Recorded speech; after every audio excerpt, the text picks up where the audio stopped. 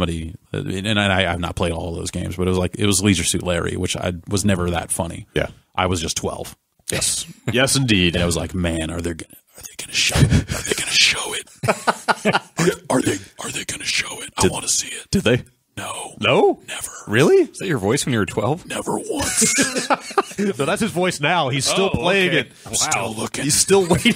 no, I've, mo- I've moved on. I downloaded a copy of Dead or Alive Extreme Three. Oh, yeah. today, Oh, so, okay. Here we uh, go. I want to know if they're going to show it. oh man. Well, I want to ask about that desperately. They- no, no they- I don't. They said that they weren't going to release the game in this country. That means they must show it. Did it just come out in Japan? Uh, like three or four days ago, Okay. something like that. Okay. So I, I have not. I launched it to make sure that it launched, and have not actually played it yet. Well, I was thinking that that would be something we would just go into uh, fresh and try to play. I think you guys should record that before Dan goes to WrestleMania. yeah, Yeah. I think Dan, Probably. Dan needs to be in on that. Let's let's do that today. Yeah, I don't think I want to sit in on that. Anyway, let's talk about. I want to see him show it. I want to. I want to go to Zack Island.